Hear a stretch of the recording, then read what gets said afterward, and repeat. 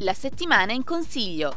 La seduta del Consiglio regionale del 10 luglio si è aperta con la commemorazione del senatore Sergio Pininfarina. I lavori sono proseguiti con l'approvazione dell'ordine del giorno sull'Unione Europea presentato nella seduta straordinaria della scorsa settimana e con la decisione di creare un tavolo di lavoro per rivedere lo statuto, la legge elettorale e il numero dei consiglieri. Nel pomeriggio è proseguita la discussione della legge sulla lingua dei segni ed è iniziata quella sul disegno di legge di riforma dell'urbanistica. World Tibet Day.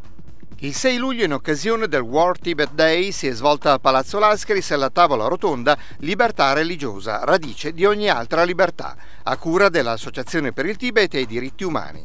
Sono intervenuti padre Bernardo Cervellera, un monaco nella tradizione del Dalai Lama e un rappresentante della comunità Baha'i di Torino.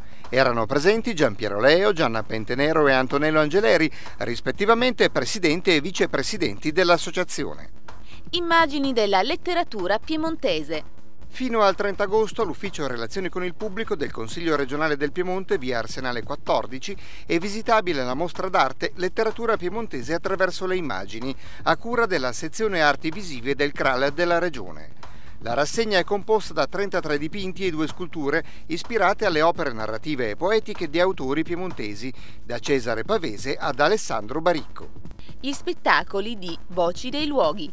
Proseguono gli appuntamenti della rassegna teatrale Voci dei luoghi, musica e parole della resistenza in montagna, inaugurata la scorsa settimana a Torino venerdì 13 luglio a Costigliole Saluzzo, provincia di Cuneo, con l'Accademia dei Folli e sabato 14 a Rittana, in Ballestura, con Assemblea Teatro.